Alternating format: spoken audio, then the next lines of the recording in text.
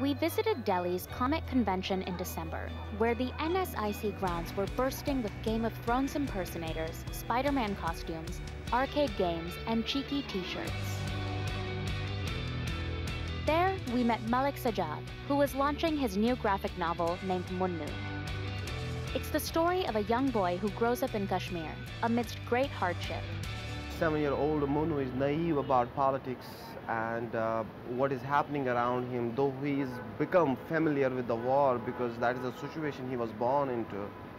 And, uh, but he doesn't understand the politics, so it's kind of, um, so then he grows and uh, comes to know more about uh, the world around him.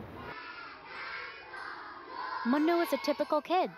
He goes to school and he loves his favorite foods.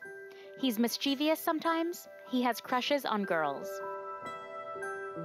Focus is not only on the war, focus is also on the irrelevant details that we relate to each other, like uh, love of parents, uh, romance, humor, uh, bunking classes, and uh, all those experiences are uh, universal.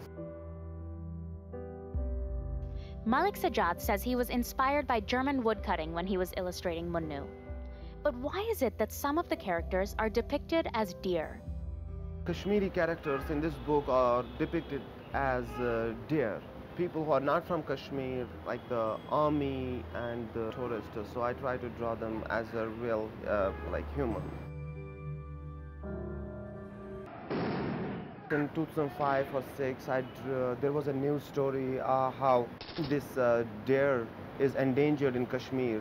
The news was, it got a big space on the front page, while as uh, some people had died on the same day it was uh, moved to the brief section of the front page. So I made a cartoon, placed a Kashmiri and a deer next to each other with a tagline, endangered species. This narrative opportunity is just some of the strengths of the graphic novel. Where you might find a lengthy description of a bustling street, here you see it. In a violent scene, which can be wordless, the action still crackles off the page in a graphic novel.